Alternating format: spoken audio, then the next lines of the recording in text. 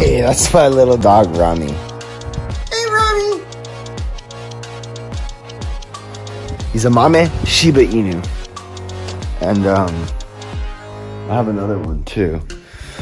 So, earlier today, uh, I posted a TikTok that Veronica was going to take mushrooms. And then she took mushrooms.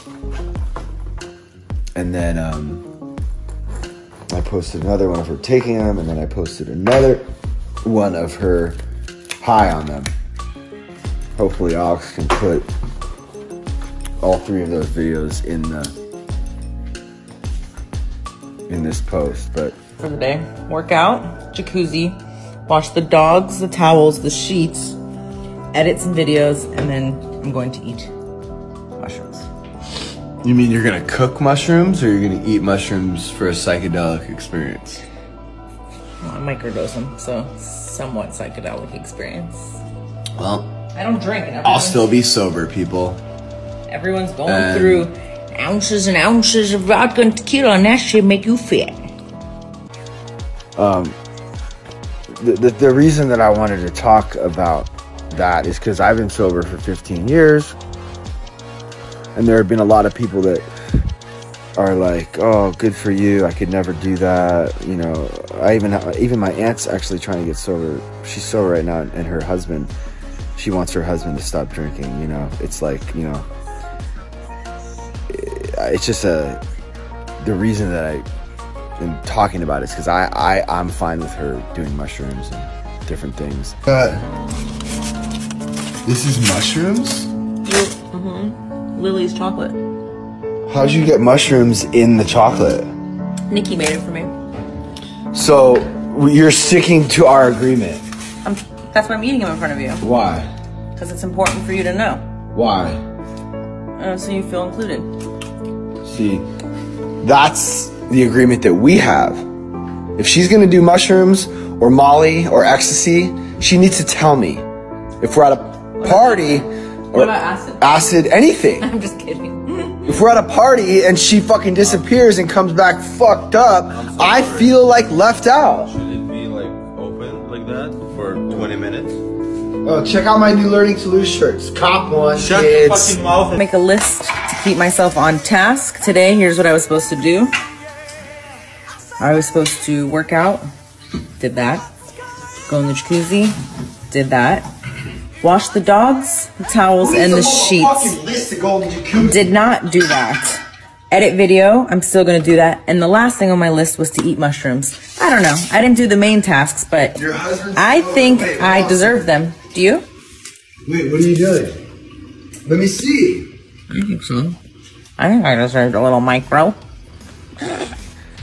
Even though I've been sober and I am sober, doesn't really affect me.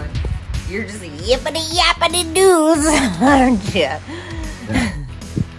Well, I'm just talking about, you know, what what it's like to have a drug addict, loser, piece of shit for a wife, you know? I am not those things. Yeah, I know you're not. Why don't you make me one? I forgot that I was on the phone with DDA. Why are you laughing every five seconds? Because I'm, I'm buzzing a little. You're buzzing a little on what? Mushrooms. Didn't they see your last six posts? Right. so you're feeling it. Yeah, she's feeling it, but it's not like she's tripping out. what? What? What? I don't know. That's it. You're just laughing at nothing. This is the fucking mushroom master right here. Susie handed me a joint earlier through the FaceTime. It was fun. You can laugh. You can live vicariously through them, you know. But I'm just, you know, because we've been getting, I've been getting a lot more like exposure on um, TikTok, so I just wanted to talk. I mean, we're only given a minute on TikTok, so it's hard to. It's just hard to, you know, you post a little clip of your life and people are just like, there's just so many comments about, oh, that's not chill, or you seem unhappy, or whatever. Um, Wow, someone just asked me, what advice do you have with acceptance? who, you or me? Me. acceptance. Because I posted this one saying, I didn't do anything and that's okay.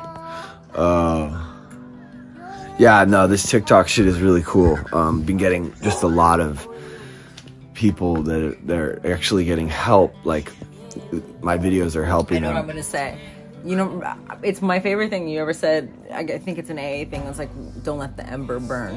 Like, Yeah. some might call me narrow-minded or stupid or like, oh, life is fun and fruitful. But I think it's the way you're supposed to be. I just think about it It is. and I just go, eh, I mean, what, brush it off. right? So the the point of Not that. to the point of like, if something's upsetting you with someone, you should talk about it. That's I have to work on the other end of that and communicate more, blah blah blah. But Yeah. Well, it's good to talk about problems with the people you're having them with, but the ember analogy is like your thoughts are like a your brain. It's like a big bonfire, and you know whatever the negative thoughts can be like embers, and if you let them sit for too long, they'll burn through.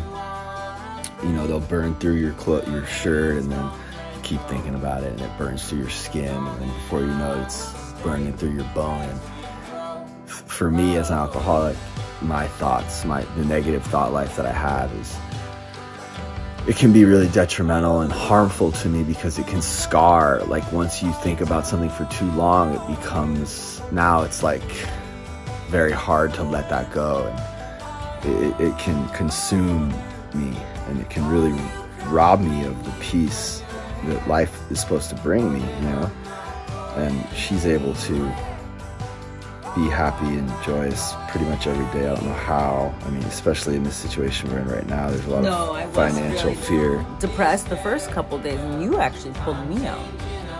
You forget, remember? I was actually tripping, and you're like, "This is."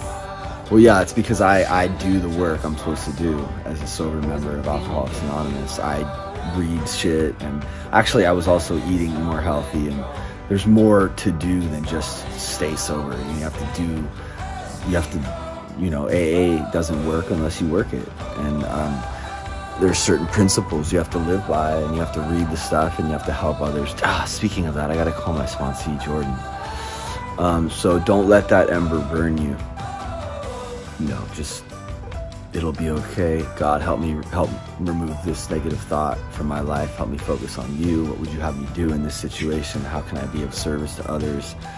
And how, how can I be loving and grateful and um, humble and honest with my fellow people and just contribute to the harmony in the world rather than um, being in fear and, and selfish ego. Um, love you guys. This Stay safe. sound. So And thanks for watching. It's still.